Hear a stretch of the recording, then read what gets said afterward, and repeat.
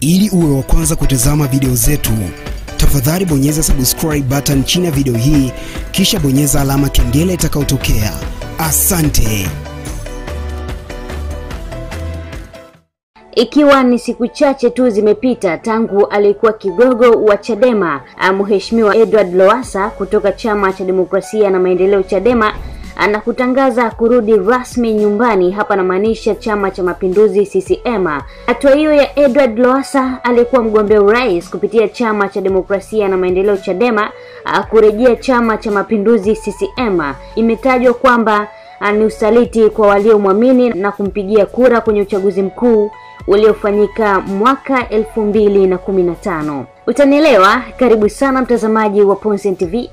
Jina langu naitwa Maria Alphonse na sasa tuendelee. Hatua ya Edward Lowassa alikuwa mgombea urais kupitia Chama cha Demokrasia na Maendeleo Chadema na kurejea Chama cha Mapinduzi CCM imetajwa kwamba ni usaliti kwa waliomwamini na kumpigia kura kwenye uchaguzi mkuu uliofanyika mwaka elfu mbili na kumi na tano. Halima Mdee ambaye pia ni mbunge wa Kawe amesema Lowassa ambaye alikuwa mjumbe wa kamati kuu ya Chadema amelazimika kurejea Chama cha Mapinduzi CCM kutokana na kuelemewa na changamoto nyingi za kibiashara na familia. Mdee ametoa kauli hiyo tarehe nane Machi mwaka elfu mbili na kumi na tisa kupitia andiko lake aliloandika katika ukurasa wake wa Twitter baada ya watu kuhoji ukimya wake kuhusu tukio la kuhama kwa Lowassa.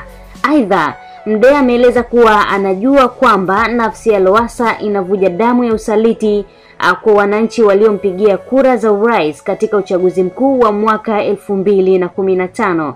Hapa namnukuu, aliweza kusema hivi: anatambua changamoto nyingi anazopitia za kifamilia na kibiashara, akalazimika kuomba po. Sikuona haja ya kusema chochote nikiheshimu uamuzi wake. Naam, lakini pia najua nafsi yake inavuja damu ya usaliti kwa waliompa heshima ya kumrudishia uhai. Hapa namaanisha wananchi waliompigia kura nyingi sana. Maneno hayo sio ya kwangu, bali aliweza kuandika Halima Mdee kupitia ukurasa wake wa Twitter. Lakini pia Mdee ameandika kuwa hakuona haja ya kusema chochote kuhusu hatua ya Lowassa kurejea CCM kwa sababu anaheshimu uamuzi wake. Kujiunga na Chadema kwa waziri mkuu wa zamani Edward Lowassa akitokea Chama cha Mapinduzi CCM baada ya jina lake kukatwa kati ya wagombea urais Julai elfu mbili na kumi na tano kulizua maswali mengi sana, lakini ujio wake ulikiimarisha chama hicho kikuu cha upinzani katika uchaguzi mkuu mwaka huo. Hata hivyo, Februari mosi mwaka huu Lowassa alitangaza tena kurejea Chama cha Mapinduzi CCM baada ya kuwa kada wa Chadema kwa siku elfu moja mia tatu kumi na mbili lakini pia alipokelewa na Rais wa Jamhuri ya Muungano wa Tanzania Dr. John Pombe Magufuli ambaye pia ni mwenyekiti wa Chama cha Mapinduzi uh, CCM pamoja na viongozi wengine wa ngazi ya juu katika ofisi ndogo za makao makuu chama hicho zilizopo Lumumba jijini Dar es Salaam. Lowassa alisindikizwa Lumumba na rafiki yake wa muda mrefu, hapa namzungumzia Rostam Azizi.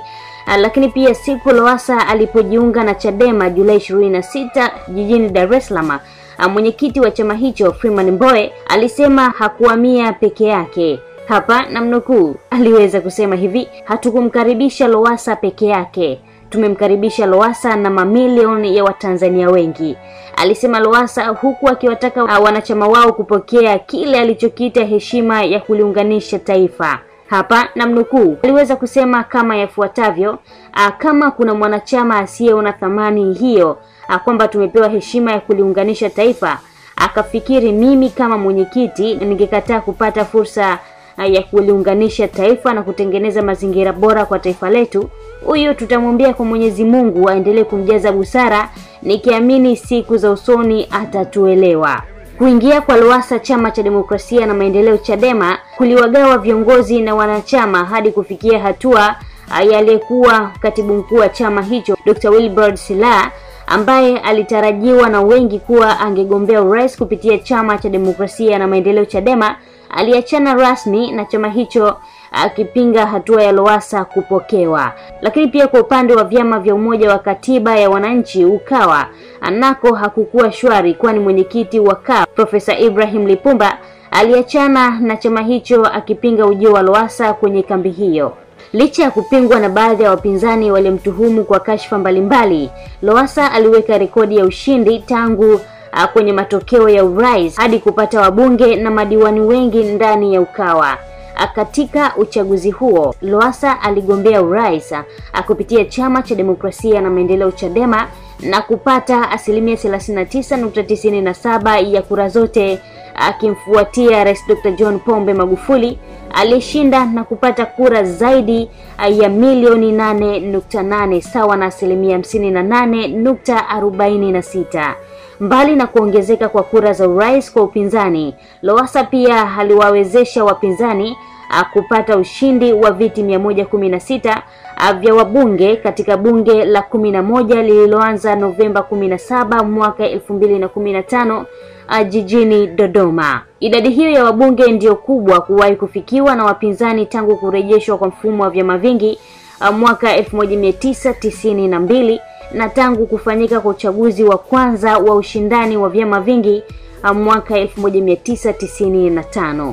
Idadi ya wabunge wa Ukawa iliongezeka baada ya Tume ya Taifa ya Uchaguzi NEC kuwateua wabunge wa viti maalum wa vyama vyenye wabunge wa kuchaguliwa na kura za wananchi. Katika uchaguzi huo uliohusisha majimbo 258 kati ya 262, CCM ilishinda ubunge katika majimbo 188, lakini pia kafu ilishinda majimbo 35 huku Chadema ikiondoka na majimbo 34, lakini pia NSSR Mageuzi iliondoka na kiti kimoja. Lakini pia NLD haikupata kiti wakati ACT Wazalendo ilipata kiti kimoja. Kutokana na majimbo hayo CCM ilipata viti maalum 64, lakini pia Chadema ilipata viti 36 na CUF ilipata viti kumi peke yake. Mbali na wabunge, vyama vya Ukawa vilipata nafasi ya kuongoza majiji, halmashauri na miji ishirini na sita.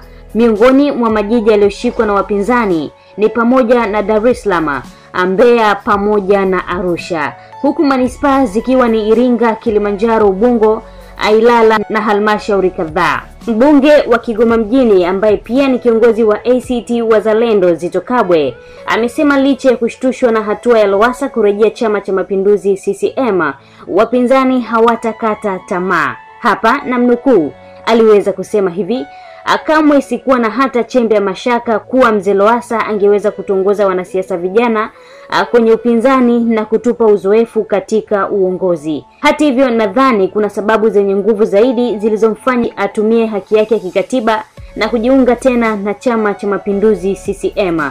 Maneno hayo sio ya kwangu, bali aliweza kusema Mheshimiwa Zito Kabwe. Lakini pia alisema wapinzani hawatakata tamaa bali wataendeleza mapambano ya kuimarisha mfumo wa vyama vingi nchini Tanzania. Hapa namnukuu tena, aliweza kusema hivi: kipindi hichi nchi yetu inachopita kinahitaji zaidi vyama imara vya upinzani vyenye umoja kuliko wakati wowote wa ule katika historia ya nchi yetu. Uchumi unaporomoka na maisha ya watu kuwa magumu zaidi akila kukicha. Tunahitaji zaidi upinzani imara kuliko wakati wowote wa ule. Na maneno hayo aliweza kusema Mheshimiwa Zitto Kabwe. Lakini pia kada mkongwe wa CCM Njelu Kasaka alisema hatua ya Lowassa kurejea ndani ya chama hicho kilichomlea hailengi kupata cheo, bali tulizo la moyo, na vile vile kwa chama ni lengo la kudhoofisha upinzani. Hapa namnukuu, aliweza kusema hivi: sio kwamba Lowassa ataongeza nini ndani ya chama bali ni kudhoofisha tu upinzani. Unajua, mbaya wako akiwa na njaa unafaidika. Wala Lowassa haendi CCM kuwa nani, bali anataka utulivu wa maisha ambao anadhani hawezi kupata akiwa chama cha upinzani ama akiwa upinzani, aliweza kusema Njelu Kasaka. Lakini pia Kasaka alihoji kauli za kejeli alizokuwa akipewa loasa na viongozi na makada wa CCM kisema yafuatayo: Walisema huyo hana sifa ya kuwa kiongozi, ni mbaya. Hii yote ni kuonyesha kuwa vyama hivi havina misimamo ya kiitikadi, bali vinasukumwa tu na matukio. Naam, maneno hayo sio ya kwangu, bali aliweza kusema kada huyo mkongwe au wa Chama cha Mapinduzi CCM. Asante sana kwa wewe ambao umeweza kuwa nami mwanzo mpaka hapa naposema bye bye. Jina langu naitwa Maria Alphonse. Asante sana na bye bye.